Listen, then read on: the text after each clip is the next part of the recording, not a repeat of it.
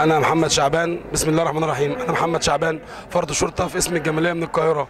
أول حاجة ما فيش حد فينا طالب يطلب لا زيادة مالية ولا علاوة ولا ولا ولا بس لينا طلبات. أول حاجة مصر قامت بثورة عشان تطهر الشعب من الظلم اللي فيها ومن الفساد اللي فيها. مصر قامت بالط... مصر قامت كلها وشعب مصر كله قام بالثورة عشان يطهر الفساد اللي في البلد والظلم اللي في البلد. وإحنا كمؤسسة أمنية وزارة الداخلية كان لينا دور في الفساد الفساد اللي كان موجود الأول.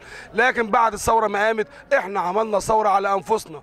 وحررنا أنفسنا وطهرنا أنفسنا وجايين عشان نطهر الوزارة من الناس الفاسدين أتباع حبيب العدل اللي موجودين واللي كانوا مسؤولين عن قتل الثوار في ميدان التحرير واللي ما زالوا متحكمين في مناصب قيادية عليا في وزارة الداخلية.